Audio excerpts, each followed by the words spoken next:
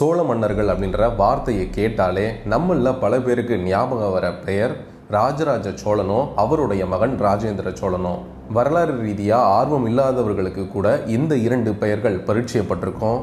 ஆனால் இந்த இரண்டு மன்னர்கள் உருவாவதற்கு காரணமாக இருந்த இதுக்கு முன்னாடி சோழர்களின் ஆட்சியில் இருந்த மிக முக்கிய மன்னர்கள் பற்றியும் நம்ம தெரிஞ்சுக்க வேண்டியது அவசியம்.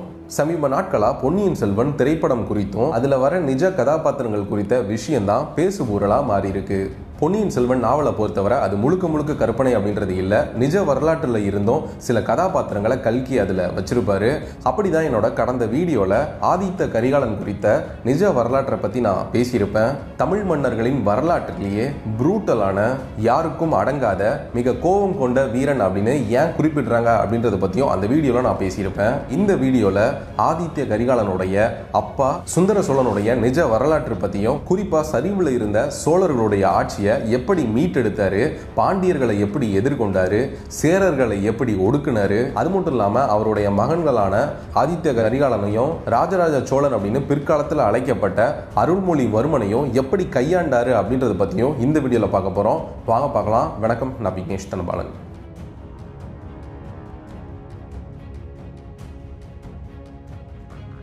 பொன்னியின் செல்வன் திரைப்படத்தில் சுந்தர சோழனா பிரகாஷ்ராஜ் தான் நடிக்கிறாரு. அவருடைய மகன்களா ஆதித்ய கரிகாலன் கேரக்டர்ல விக்ரமும் ராஜராஜ சோழனான அருள்மொழிவர்மன் கேரக்டர்ல ஜெயம் ரவியும் நடிக்கிறாங்க. பொன்னியின் செல்வன் நாவலை பொறுத்த வரைக்குமே சுந்தர சோழனுடைய ஆட்சி காலகட்டத்தில் தான் பெரும்பான்மையாக நடக்கிற மாதிரி அமைஞ்சிருக்கும். சரி பொன்னியின் செல்வன் அப்படிங்கிற கல்கியுடைய கற்பனை கதையை ஒரு பக்கம் ஒதுக்கி வச்சுட்டு நிஜ வரலாற்றில் சுந்தர சோழன் யார் அப்படின்னு தெரிஞ்சுக்கிறதுக்கு அவருடைய தாத்தா பராந்தக சோழன்ல இருந்து ஆரம்பிக்கணும். பராந்தக சோழனுடைய மூத்த மகனான ரசாதித்த சோழன் சோழர்களுடைய ஆட்சி பொறுப்புல இருக்கிறப்ப ஒரு போர்ல எதிரிகளால வீழ்த்தப்படுறாரு. அதுக்கப்புறமா பராந்தக சோழனுடைய இரண்டாவது வாரிசான கண்டராதித்த சோழன் அரியணைக்கு வராரு. அவருக்கு இந்த ஆட்சி பொறுப்பு அரியணை மீது ஆசையே இல்லை. காரணம் என்னன்னா அவரு ஆன்மீக நாட்டத்தை அதிகமா விரும்பின நபரா இருந்திருக்காரு. இதனாலேயே அஞ்சு வருஷம் மட்டும் ஆட்சியில இருந்துட்டு பிறகு சிவ தொண்டராட்டிட பயணப்பட்டுறாரு. அதுக்கப்புறமா கண்டராதித்த சோழனுடைய தம்பியான அரிஞ்சய சோழன் ஆட்சிக்கு வராரு. அரிஞ்சய சோழன் தான் இந்த வீடியோவில் நம்ம பேச போகிற சுந்தர சோழனுடைய அப்பா. அரிஞ்சய சோழன் சோழர்களுடைய ஆட்சி பொறுப்புக்கு வந்து ஒரு வருஷத்திலேயே நோய்வாய்ப்பட்டு இறந்துடுறாரு.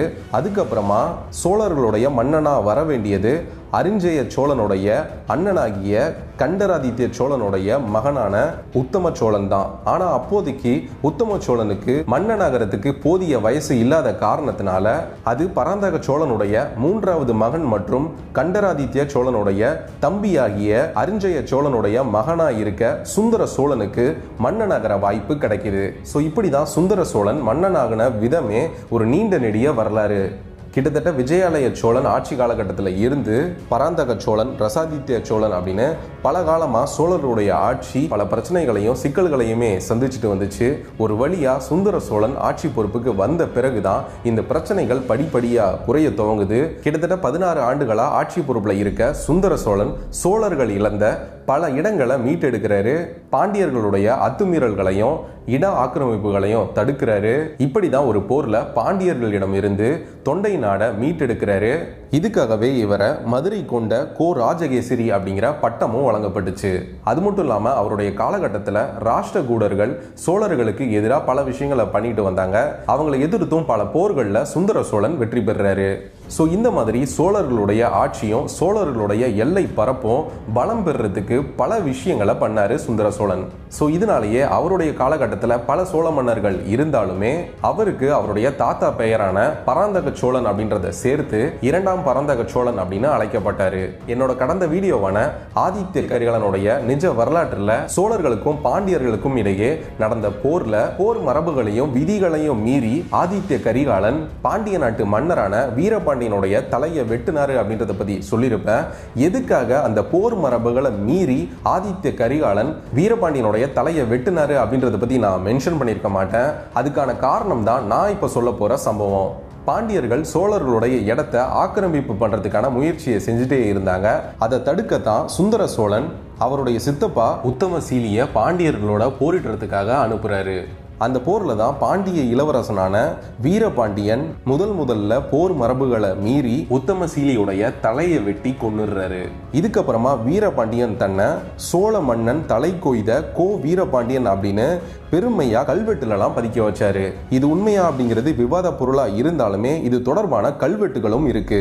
ஸோ இப்படி வீரபாண்டியன் போர் மரபுகளை எல்லாத்தையுமே மீறி உத்தமசீலியுடைய தலையை வெட்டுனதுனால தான் அதற்கு பழி தீர்க்கும் விதமா தான் ஆதித்ய கரிகாலன் வீரபாண்டியனுடைய தலையை வெட்டி சாச்சு அந்த வெறும் தலையை தன்னுடைய போர் பல்லாக்கின் மீது வைத்து சோழ நாடு முழுவதுமே பலம் வந்தாரு.